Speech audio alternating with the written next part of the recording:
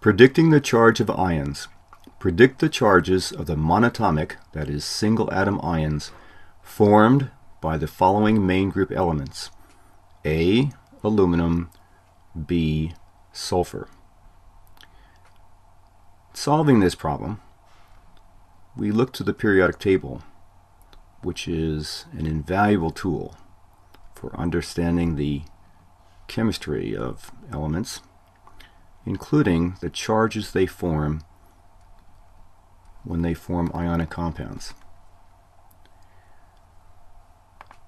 We notice that aluminum is in group 3A,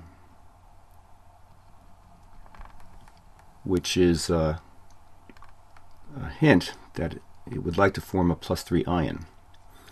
The reason is that it has 13 electrons and it would like to obtain the electron configuration of the nearest noble gas, which is neon.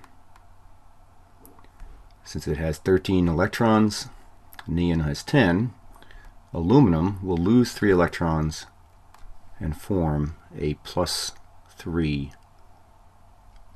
charge.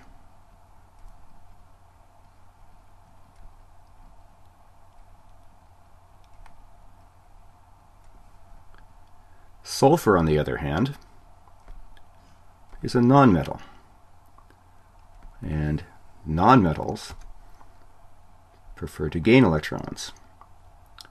Again, we notice that sulfur is in group 6A. It has 16 electrons. The nearest noble gas is argon with 18. So by gaining two electrons, sulfur becomes isoelectronic with argon. So the charge formed by sulfur upon formation of an ion is sulfur 2 minus.